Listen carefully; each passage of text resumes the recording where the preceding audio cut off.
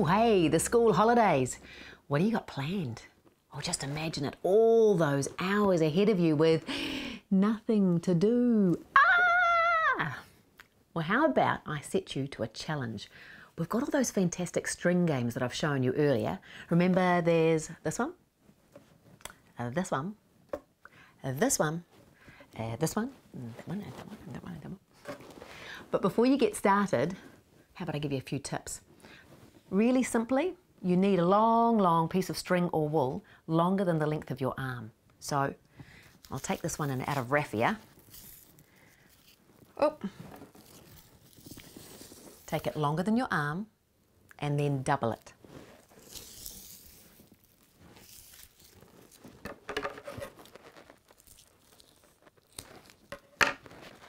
Now, you tie a knot in the end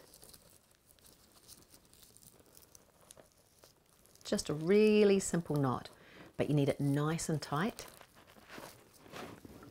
And then you get rid of all the loose hairy bits off the end so they don't get in the way.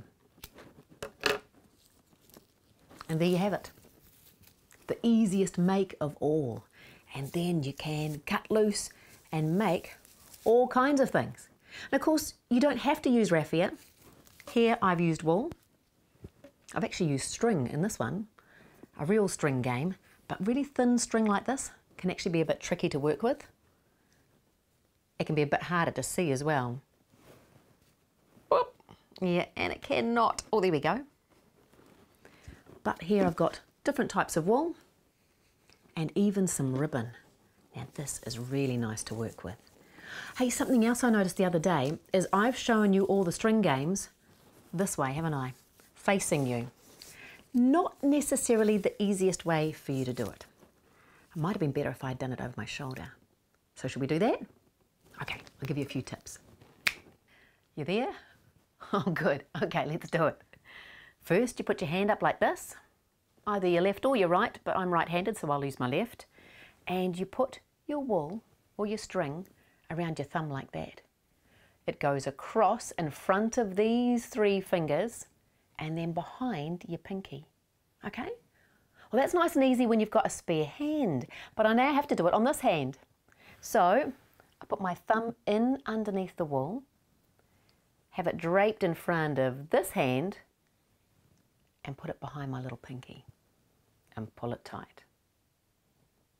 Now, once you're there, you use your pointing fingers, the nose picking ones, and you scoop underneath that string and pull it tight. And then you do the same with this one. You go underneath this string and you pull it tight. You might need to practice that a few times, but once you've got that sorted, you've got this shape here. And that's the shape that you'll start most of your string games with. So I'll quickly make a cup of tea. Bit thirsty? Yeah, me too. so if we go underneath, so over these one, two, these two first ones, underneath those ones, bring them back and under, and then drop your pinkies, and you've got a big cup of tea, or maybe it's a soup bowl. There. Nice and easy. How did that work? Was that a little bit better? Well, if it's easier for me to do it this way, let me know in the comments below and I'll start doing all the other ones for you as well. Go and check them out, give it a go and let me know. And I'll see you next time. Have a great holiday.